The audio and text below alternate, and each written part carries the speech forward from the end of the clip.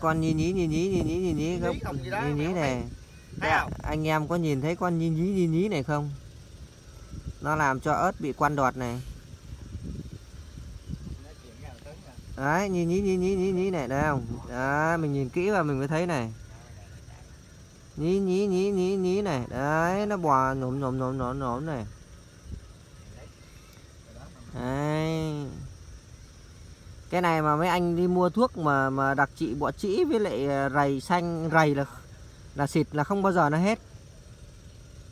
Tôi đảm bảo xịt ờ, thuốc rầy với bọ trĩ là không bao giờ hết. Đó. Thấy chưa? Các bạn thấy không? Đây. đó, cái ớt mà nó làm cho bị thun đọt thấy không? Thun hết trơn đọt này. Đây. Nè. nhìn à, bên ngoài bên ngoài cứ lầm tưởng là là là bị bỏ trĩ à, các bạn này đó. Đó, các bạn nhìn thấy đằng sau con lá này à.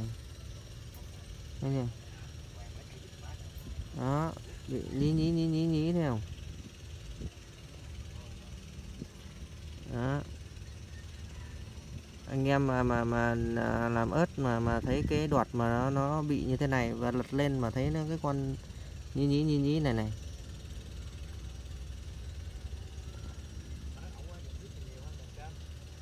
Đó. Nó làm cái đoạt này thun lại này. Thun lại này. Đây chính là là cái con nhện chứ không phải là con bọ trĩ đâu các bạn. Đó, nếu các bạn mà mua thuốc uh, à, không phải là rầy phân trắng. À, nhiều anh em cứ nghĩ tưởng là rầy phân trắng nhưng không phải là rầy phân trắng.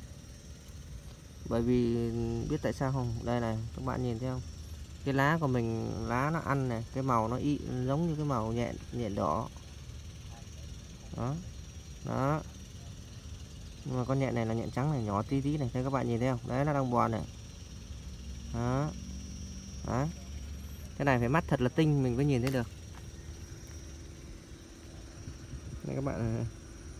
mắt thật là tinh. Mình mới nhìn thấy nó được.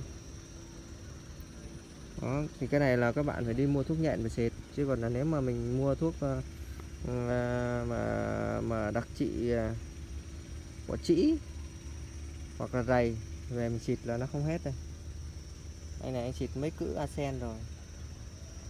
Với lại bọ trĩ rồi. Mà cái này nó vẫn không đứng. Đó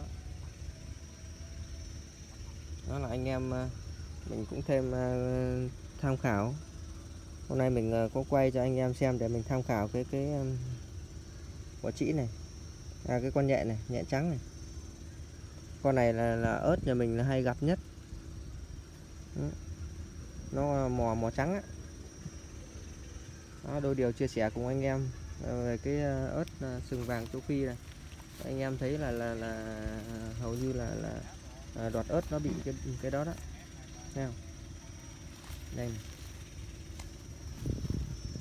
đặt lên là con nào cũng có này. Đó. Cái dưới lá này.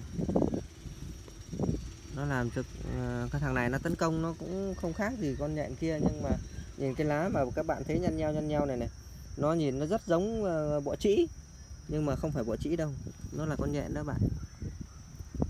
Đây này mật độ như cái lá nhỏ này này, mật độ càng cái lá nhỏ này mật độ càng nhiều này.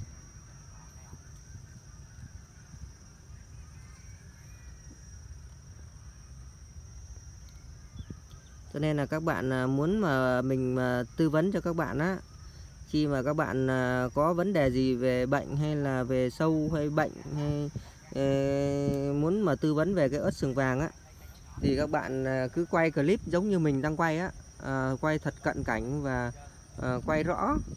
Thì để mà mình sẽ có nhiều cái ờ, định hướng và cái giải pháp giúp các bạn.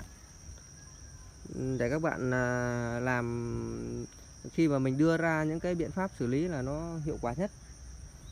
Thì rất mong anh em là mình chia sẻ và đăng ký kênh. Thứ hai nữa là là có tư vấn cho mình à, có cần à, mình tư vấn thì cứ liên hệ Zalo là à, 0949 387968 đó thì mình sẽ hỗ trợ các bạn tận tình và sẽ chỉ cho các bạn những cái giải pháp để mình uh, trị đặc trị một số những cái ờ, nhất là bệnh thối lá ớt thứ hai nữa là sâu rầy và bọ trĩ rồi phun thuốc như thế nào xịt ra làm sao. Thì các bạn cứ alo mình nhé.